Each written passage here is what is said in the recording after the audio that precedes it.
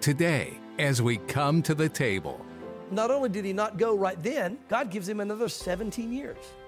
And I find it interesting, it was 17 years old when Joseph would disappeared and was gone.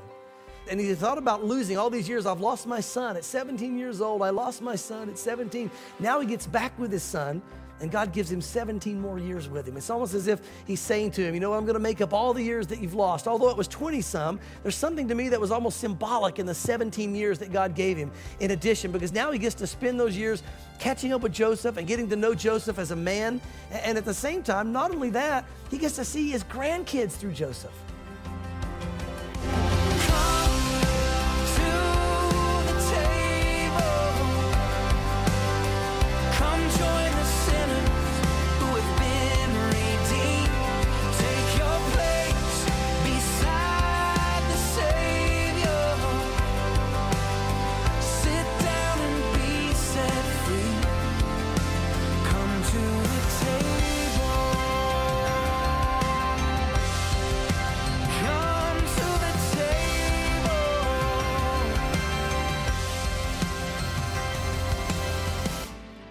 How encouraging is it to know that God is always at work in our lives, even when we don't understand the meaning? In today's teaching, Pastor Mark will walk listeners through the reunion between Jacob and his son Joseph. After many years separated, what joy Jacob must have felt to see his son again. Well, thanks for taking the time to join us as we come to the table, the daily Bible study program of Mark Kirk, Senior Pastor of Calvary Knoxville. For many Christ followers, it may be easy to look back over the course of life and see God's hand moving, even when we didn't know it. The Bible is filled with stories that speak of the Lord redeeming difficult situations. How can you put greater trust in Him today? You can rest in the truth that His ways are good. Now, let's join Pastor Mark in the book of Genesis, chapter 46, as he begins his message, Settling in Goshen.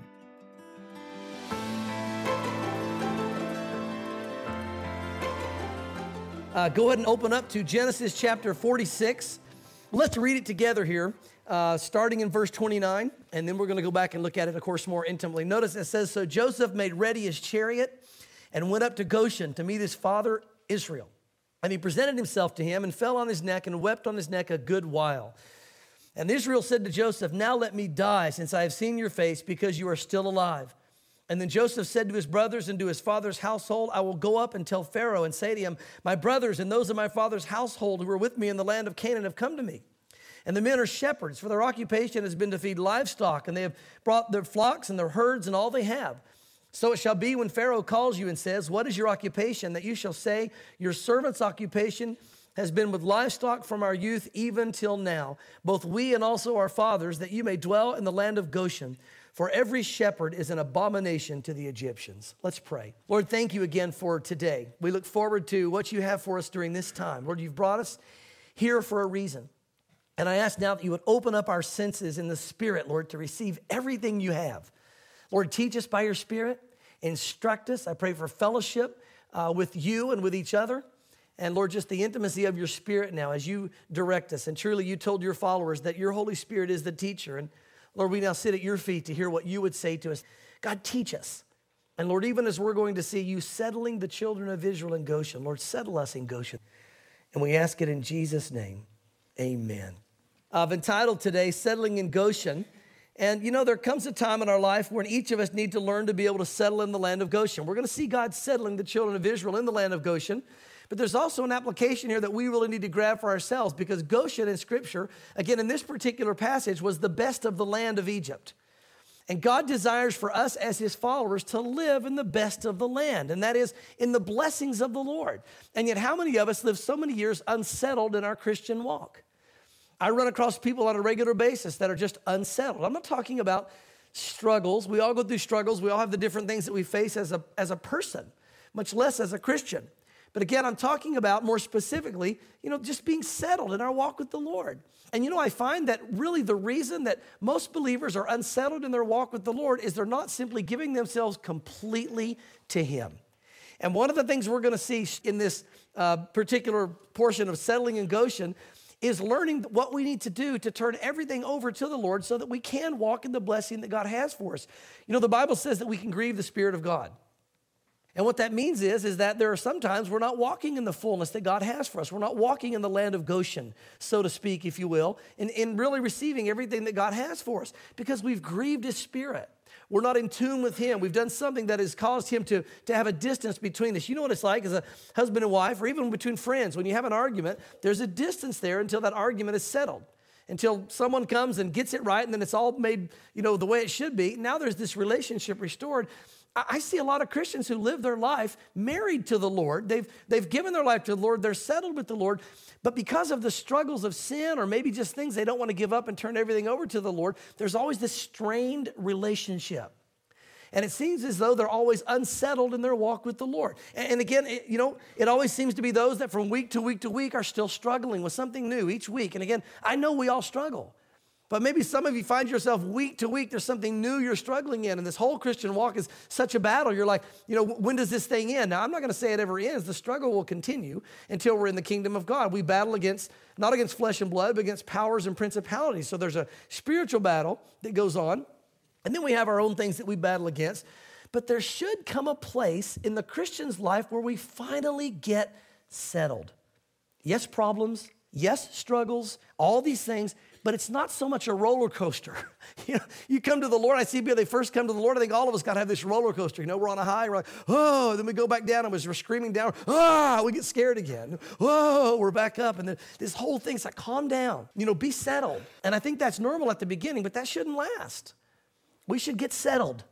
We should be, you know, secure in where we are in the Lord. We should be uh, trusting in the Lord. We should have a regular walk with the Lord in His Word and His prayer, and just again that that settled life. And so, really, there's a picture here of God settling the children of Israel in Goshen. But there's also a picture for us, rather a, a literal picture here, but there's also a spiritual picture of us as believers being settled. Now, again, where we left off, uh, remember uh, Joseph had been revealed to his brothers. Uh, he told them who he was, and he had sent them back to get their dad and to bring Jacob back down there. And he said, You know what? Two years of the famine are done. We have five years to go. It's going to get really ugly. I want to take care of you. God has sent me before you. He's laid the groundwork and done everything needed. He's put me in this powerful position. And now bring dad back, and we'll give you guys uh, living in Goshen. You know, you're shepherds and I'll uh, make an appeal to Pharaoh, and, and you make an appeal to Pharaoh. We'll get you in the land of Goshen, which was the best of the land. But it would make sense that they would be in the best of the land because they were shepherds. And we're going to see he instructs them to tell Pharaoh that, so there's greater influence to get into Goshen. And why was Goshen the best of the land? Well, remember, especially during a famine, especially during a drought, Goshen was where all the river uh, outlets and inlets were that ran through the, the, the part of Egypt there, uh, you know, to the Mediterranean. And so you had a very fertile area where it was well watered, and even if it wasn't watered because of the drought, you could pump the water over to your gardens. And they actually had what they called foot pumps that they would run from the rivers and they would pump them with their feet and make irrigation lines and run the water out of the rivers. And it was a very fertile area. I mean, if you, it, again, it would be the place to be in good times or in bad. And so that's where we left off with them getting ready to come down there. Uh, we saw in verse 28 that, that, Jacob sent Judah on before him to point the way down to Goshen, to Goshen, to the land of Goshen. And now we take up in verse 29 where he finally arrives. And notice it says So Joseph made ready his chariot and went up to Goshen to meet his father Israel, and he presented himself to him. You can imagine what a great reunion this was. It had been over 20 years a dad thinking his son was dead, a son thinking he would never see his dad again. Over 20 years have gone by, this great reunion. I can imagine he was, he was, you know, loading up the chariot and heading out quick, you know, to go see dad. This would have been a very exciting moment for both of them.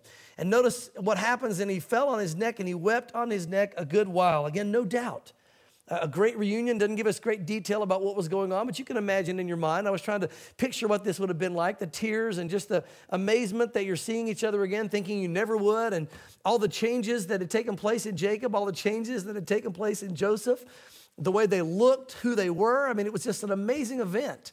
And so there's this exciting reunion here that takes place with tears and joy. And Israel said to Joseph, Now let me die since I've seen your face because you're still alive. Now, again, he didn't want to just die. He wouldn't say, This is it, I'm ready, just kill me. But again, his point was, his heart was, you know what? I never dreamed I'd get the opportunity to be this fulfilled and see my son again. It's happened. I- have had enough. I'm ready. If the Lord takes me now, that's fine. Let's go. And so it's a great place to be there in the heart. There's a real settledness, interestingly enough, here now in the heart of Jacob that he's lived a full life and now he's God has capped it off when he said, All these things are against me. And he found out, No, Jacob, all these things are for you. And now God has capped it off with giving you what you wanted more than anything. And you're, you're settled and you're in the land. And, and it's a beautiful picture again of them as a people being settled and back in the land. And so, uh, this, again, beautiful scene here of, of him saying, You know, I'm, I could go now. Now, what's interesting about that is not only did he not go right then, God gives him another 17 years. And I find it interesting, it was 17 years old when Joseph would disappear and was gone. And he thought about losing all these years. I've lost my son at 17 years old. I lost my son at 17. Now he gets back with his son, and God gives him 17 more years with him. It's almost as if he's saying to him, You know, I'm going to make up all the years that you've lost. Although it was 20 some, there's something to me that was almost symbolic in the 17 years that God gave him in addition, because now he gets to spend those years catching up with Joseph and getting to know Joseph as a man. And at the same time, not only that, he gets to see his grandkids through Joseph. You know, it's one thing to see Joseph, but to see the grandkids. And I know how you grandparents are. You know, if the kids move away, that's no big deal, but don't take the grandkids. And so now he gets to have the grandkids for all these years, right? And so this is an amazing thing that God has done, and it's exciting to see the Lord be faithful here. But this is something I want you to grab uh, as one of the first things we take note of, and that is this whenever you go through suffering for the Lord's sake, like Jacob had, whether it's for the Lord's sake in ministry or whether it's simply for maturity purposes. God needed to grow Jacob. He needed to mature him and do a work in his life. Whenever God sends you through those times where you feel that everything is lost and, and, you've missed out on so much and life has done you wrong or whatever the case might be, rest assured God will give you that back and more when he's done.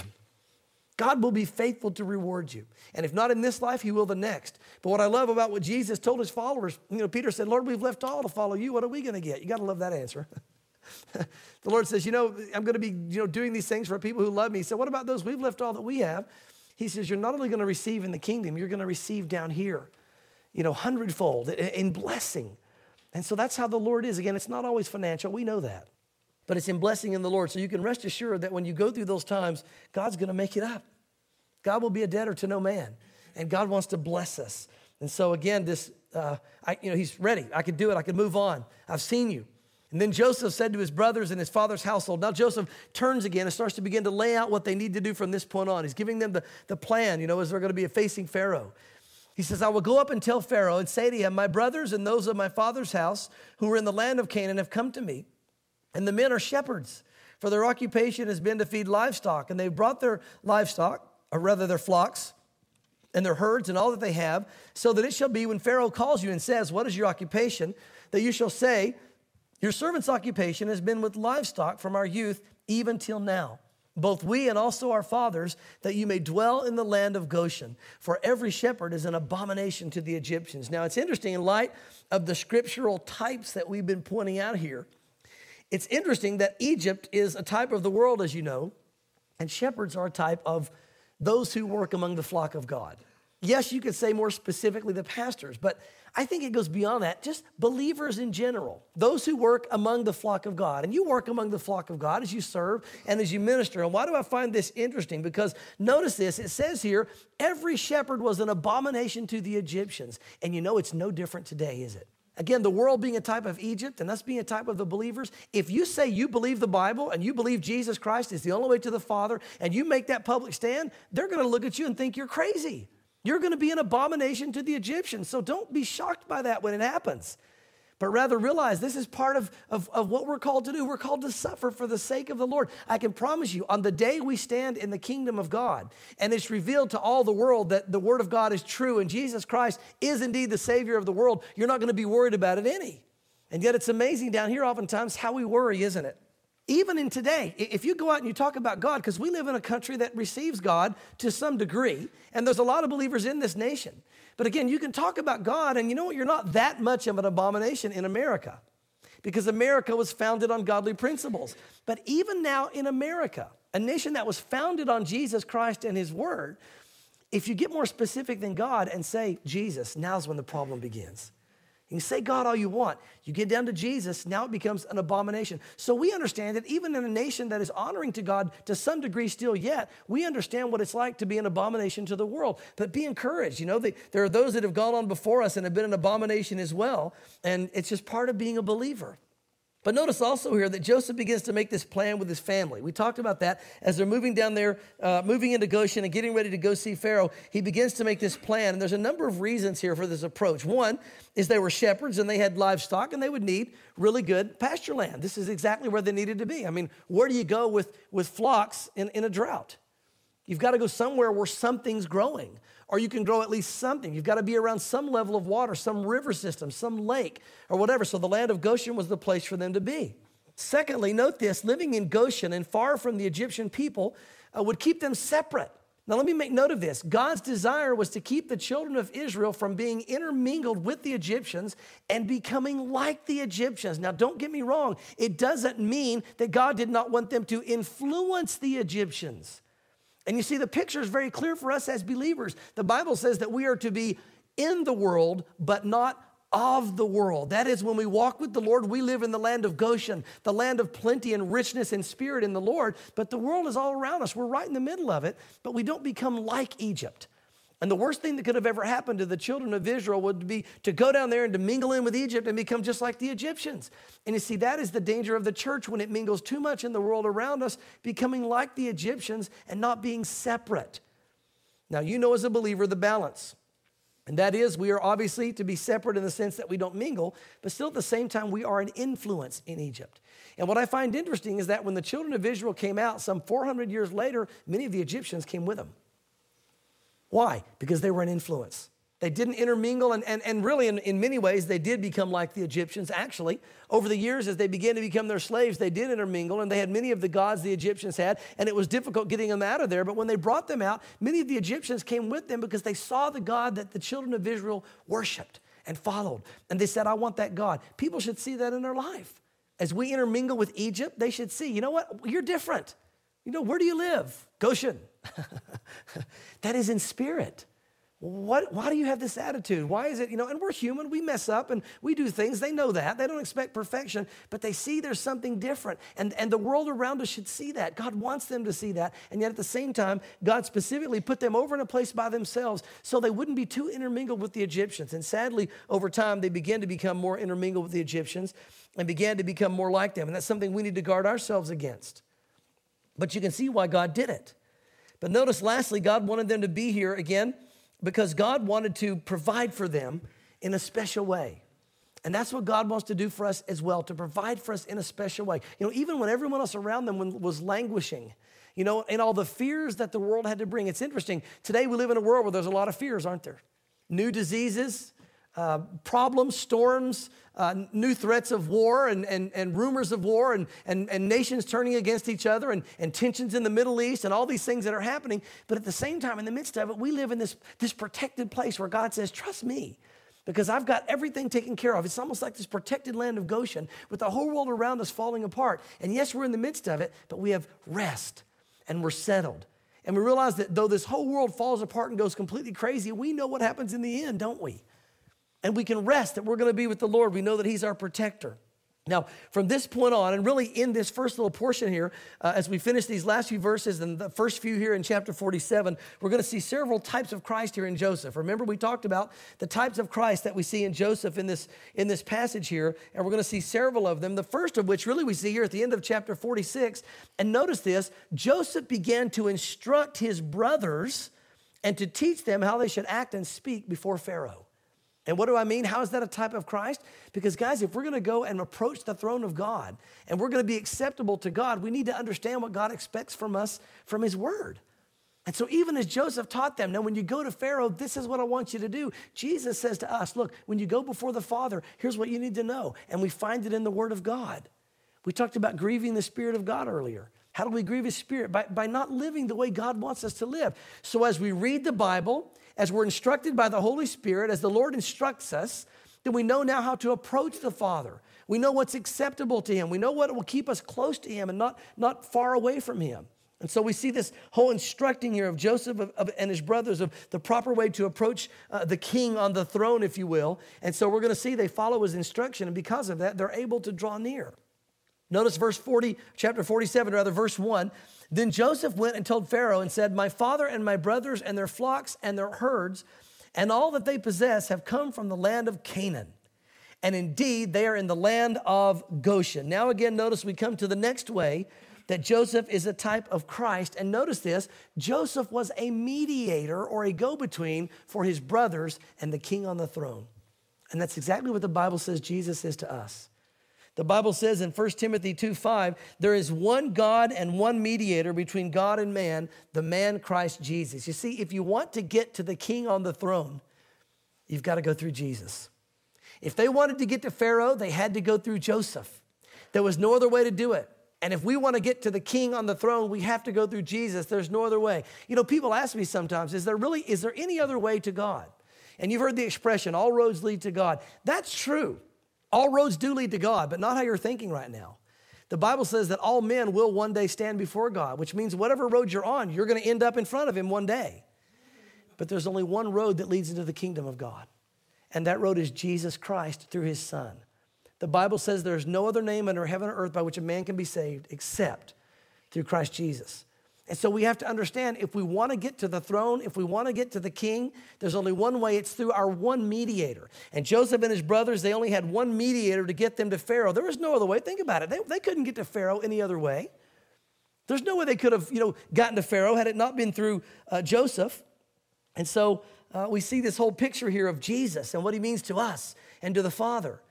And notice it says here, and he took five men from among his brothers and presented them to Pharaoh. Now, this blows me away, and this didn't really hit me until this morning, really right before the service. But grasp what's going on as I begin to imagine this whole scene in my mind. As you know, I like to live these things out. Here's Joseph in all of his pomp and circumstance, wearing the finest clothes of Egypt. He's got on the designer clothes. He's the number two man in all the world, arguably, and the number two man in Egypt for sure. He's wearing the finest clothes, living in the finest palace, and now his brothers show up. What's their situation like? Well, what would it be like for you living in the wilderness, taking care of sheep? They lived in tents, they had rags for clothes, so to speak, dirty, torn, smelly. They couldn't bathe on a regular basis. And again, it wouldn't be expected living out there. When you did bathe, the moment you were done, you'd be dirty again from all the blowing dust and dirt and all the things. And it was a famine, it was even more dry than normal. And what amazes me about this is we see that Joseph goes to his brothers and he sees them like that. Now, my tendency would have been, you know what, uh, guys, you know, why don't we, um, you know, let's get cleaned up a little bit. Now, he did give them some change of clothes. No doubt they wore something a little bit nicer. But at the same time, realize that they're, they're shepherds. And, and he's going to present them now to the king. And, and he comes in and I'm thinking, you know what? I think that if it was my brothers and you were there, you know, you might be tempted to be a little bit ashamed or a little bit of embarrassed. Well, here's what I love about Joseph. Joseph went to Pharaoh and he got these stinky, you know, dirty uh, uh, sheep herders who lived in tents and had, you know, rags for clothes almost. And he brought them before the king and he said, you know what? These are my brothers. And there's no sign in scripture that he was ashamed to call them his brother. You know what? That reminds me of the Lord when it comes to us. Because here's the Lord in all of his splendor and all of his glory and all of his beauty in the kingdom. And here we are in these filthy rags of sin and betrayal and rebellion against the Lord, saved only by his blood, you know, and as I say, getting in smoking, so to speak. And you know what? He points to us before the Father and says, These are my brothers, and he's not ashamed to do it. Isn't that amazing?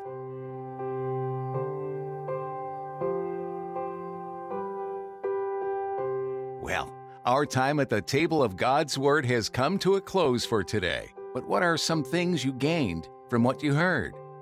The book of Genesis gets the ball rolling, causing you to think about all kinds of big picture questions, things related to the creation of the world, why God would allow a worldwide flood, and why were the Israelites his chosen people. These are all good things to think about and to dig further in God's Word. But our hope is that what you heard today has helped solidify some things that might have been in question before. God was specific in how He brought things about. None of it was accidental or haphazard. As you listen through this series, we trust that you'll come to some great realizations about who God is and what He's done and is doing. To listen to this message again or share with a friend, go to thewaymedia.net. Once again, that's thewaymedia.net. Simply click on the Come to the Table tab. If you have some questions about what you heard today, we'd love to pray for you or answer any questions you may have. So reach out to us through the questions and comments link on our website or call us at 865 609 1385. That's 865 609 1385. please don't hesitate to reach out. We encourage you to stay grounded in God's Word, allowing Jesus to grow you and draw you closer to Him daily, being willing to go where He's guiding you. Pastor Mark has prepared another teaching here in the book of Genesis, so join us again the next time we come to the table.